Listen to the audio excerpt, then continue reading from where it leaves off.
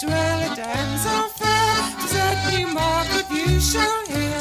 There did dwell a damsel fair, some they called her bonny Kate, going to, coming from Newmarket late.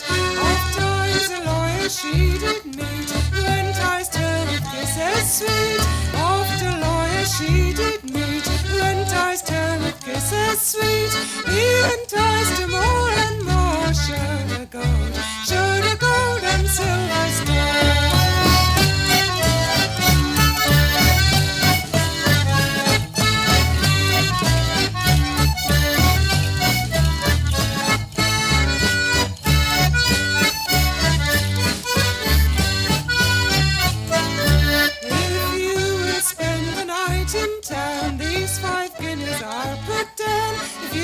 spend the night in town, these five guineas I'll put down.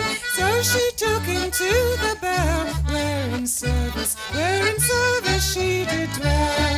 And can I have a bed, said he, for me wedded wife and me? Can I have a bed, said he, for me wedded wife and me?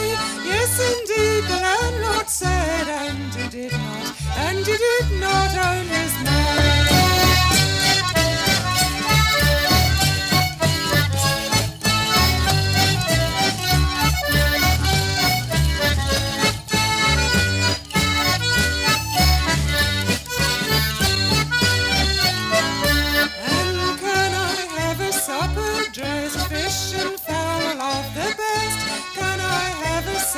dressed, fish and fowl of the best? And some wine to drink a while for young Kate, for young Kate's walked many a mile. And so the glass went round and round till the score stood at one pound. So the glass went round and round till the score stood at one pound. That the lawyer freely paid. Now to bed, now to bed, young Katie said.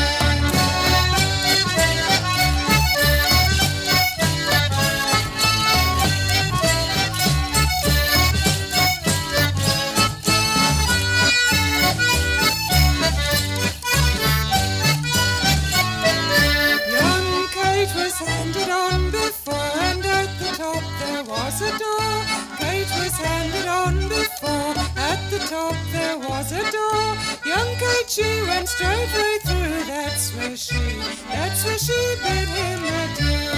Lord, how the lawyer stamped and swore when he found he'd lost his dear. How the lawyer stamped and swore when he found he'd lost his dear. Young Kate's heart was filled with joy